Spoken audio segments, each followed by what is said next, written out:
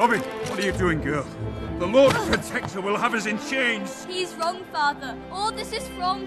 Don't you see that? Robyn, step aside. We must do what we're told. Why, Father? Why? I'm afraid. I'm afraid. Father?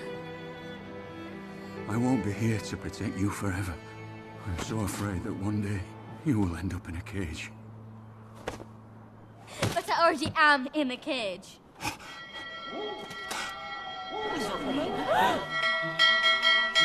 Wolves! Wolves!